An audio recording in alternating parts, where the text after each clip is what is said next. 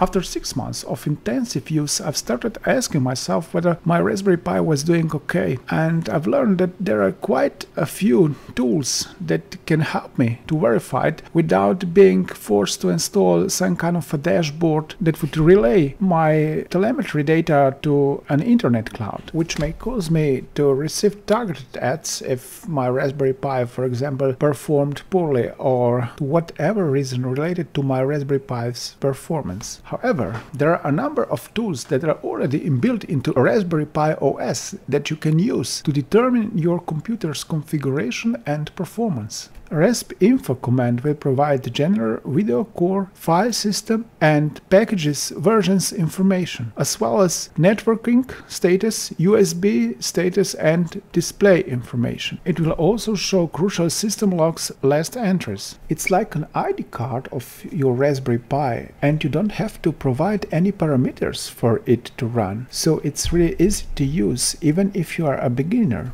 But what I was in fact looking for was VCGene CMD command, which is performed by Video Core itself. It can, for example, obtain system core and power management module temperature. Though obtaining the latter is a little bit tricky because you have to use an undocumented parameter with measure temp function.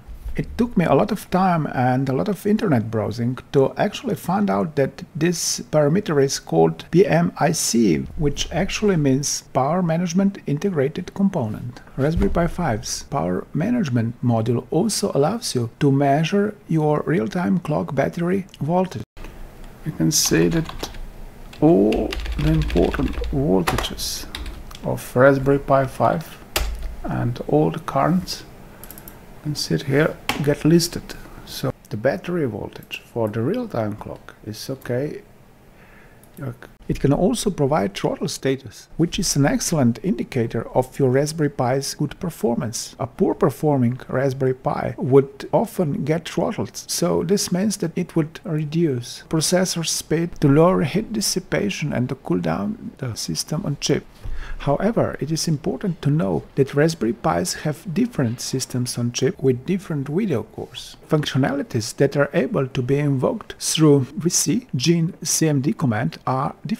Raspberry Pi 5's BCM2712, for instance, offers much lesser number of commands than Raspberry Pi 4's BCM2711 or Raspberry Pi 3's BCM2837. You can obtain the list of available commands by typing commands command. Unfortunately, these are just command names without the number of required parameters or possible parameter values or value ranges. So all of this has to be somehow guessed. I had quite a lot of work to search various forums and different web pages to find more information on how to use particular functions. But there are also functions that are very hard to get any information about and Raspberry Pi currently has no intention to release any comprehensive documentation on using vcgencmd command. The official documentation is more or less tailored to Raspberry Pi 4 and previous models, but for Raspberry Pi 5 there is no real official documentation. Raspberry Pi 5 has a more powerful DA9091 power management module, which can even more precisely measure different voltages and currents within Raspberry Pi 5.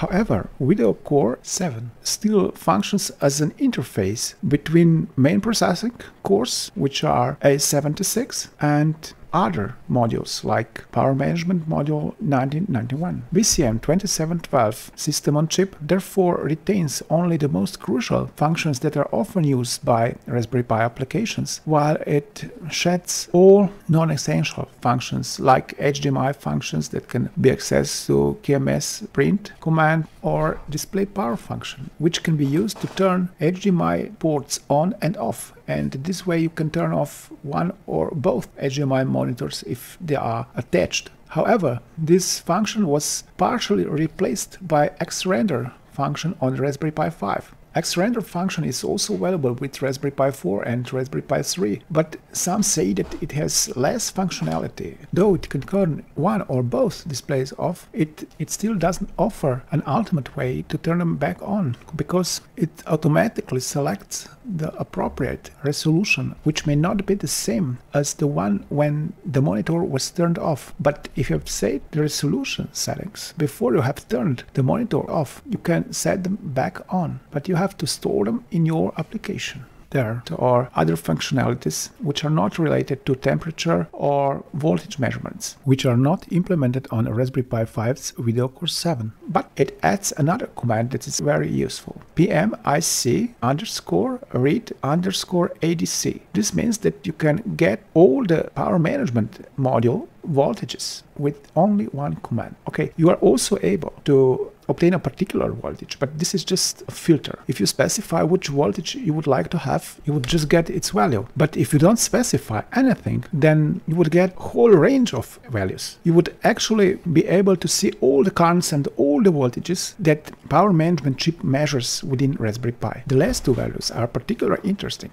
X 5 volt voltage is input voltage from power supply and if your power supply is failing, this voltage would drop much below 5 volts. For example, before your Raspberry Pi browns out, it could even get to 4.75 volts. And the next BAT voltage, this is battery voltage, measures your real-time clock battery voltage. If it drops below 2.2 volts, then your real-time clock might not work when Raspberry Pi 5 is not powered. If you've built your own battery assembly to provide battery power, to your Raspberry Pi real-time clock. This is just what I've done and I'm delighted to see 2.8 volts because this is the voltage that I've designed my circuit for and it has not dropped in half a year. If you want to build your own battery assembly from a non-rechargeable battery like CR2032, watch this video next. Another interesting function is set logging level, which enables you to determine how precise log you want to keep about your actions, about your Raspberry Pi operation. Beside vcgencmd, there is a special vclog command which can display messages log or assert log. It can even show the logs in real time if you use flow option. We've already mentioned a number of undocumented options, but if you want to discover more, you can use for clause with predetermined values and test them sequentially on a given function. You can also specify a number range and you can also test it on a specified function. You will find a raw model where you can put your own function that you want to test and your own parameters. It's all in an Excel table that I've made and that you can download from my webpage. The table also contains a comparison of PC, Gene, CMD functions operation on Raspberry Pi 3, Raspberry Pi 4 and Raspberry Pi 5. There are a number of comments and examples, so you would be able to see how to use a particular function. But I admit that there are also functions, especially for Raspberry Pi 3 and Raspberry Pi 4, that are so little known and so poorly documented that there is still a guesswork what they actually do. For example, functions that handle file access through video core. Uh, I believe that it might be related to some kind of strange operation mode of video core where video core would access an, an SD card through possibly USB-C port on Raspberry Pi 5 and Raspberry Pi 4 because it usually refuses to work with any kind of file systems that are already present on Raspberry Pi. The only thing that I haven't tested though is a data drive connected through a USB-C port. If you want to know more about connecting your data drives or about connecting your Raspberry Pi to another computer as a device, watch this video next. Thank you for watching. Press like and subscribe buttons if you've liked the video. The next video is coming soon. Bye.